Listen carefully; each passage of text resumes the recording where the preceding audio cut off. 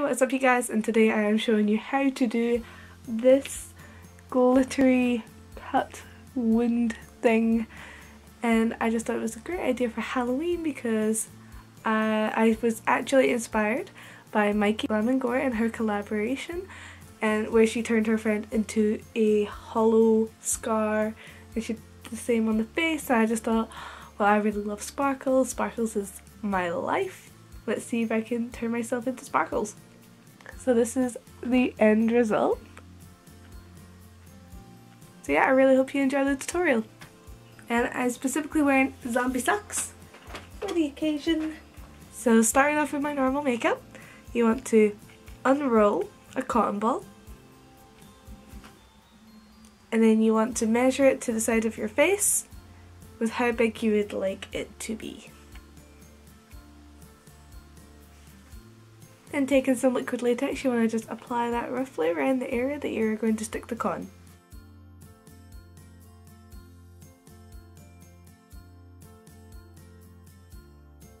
Apply the con onto the area. So once you put the liquid latex on and your piece of cotton over it, you want to cover the cotton in liquid latex.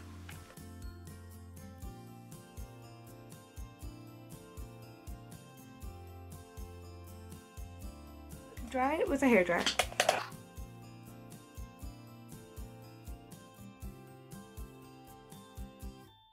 Once that's dry, you want to do the same again at the bottom. I've been joined by my cat, Portia.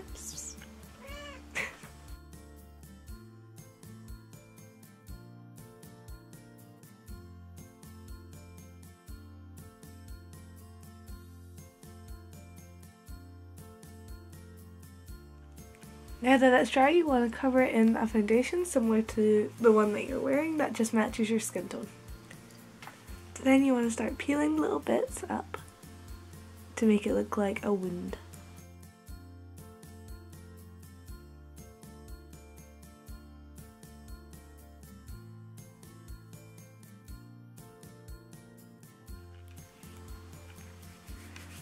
Now for paints today I'm testing out the Makeup Revolution by SFX palette and that's what it shows you on the back. So I'm going to use a mixture of these three. Now it does say that it is meant to be a cream palette so it should go on no problem.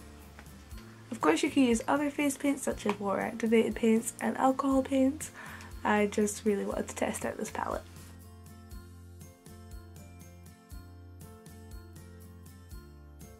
Taking the black and I'm going to fill that inside.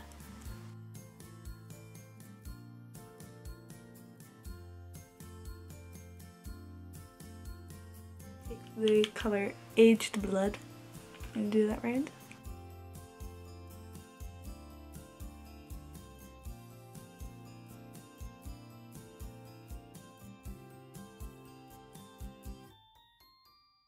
the new blood, I'm going to do the same.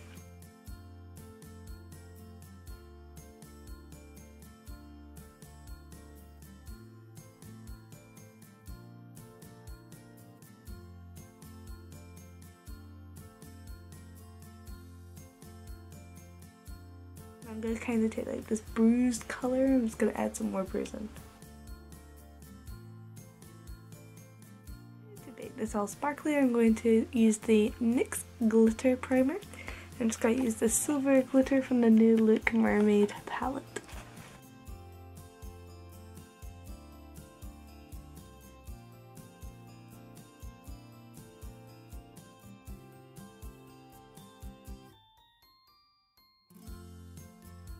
Actually going to add some fake blood into the line here and down the little lines I've just drew.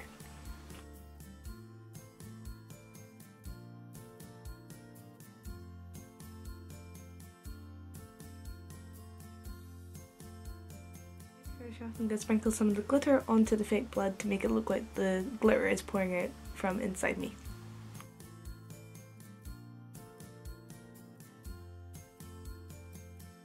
That is it guys. So you have done your inner sparkle glitter spill scar thing. And yeah, so I hope you liked it. I hope you enjoyed this really easy, quick uh, Halloween look. And I just really thought it showed my inner self because I really like sparkly things. I really do. Uh, so like, comment if you'd like to see any other F SFX videos that you'd like me to try, uh, subscribe, and yeah, have a good day. Happy Halloween!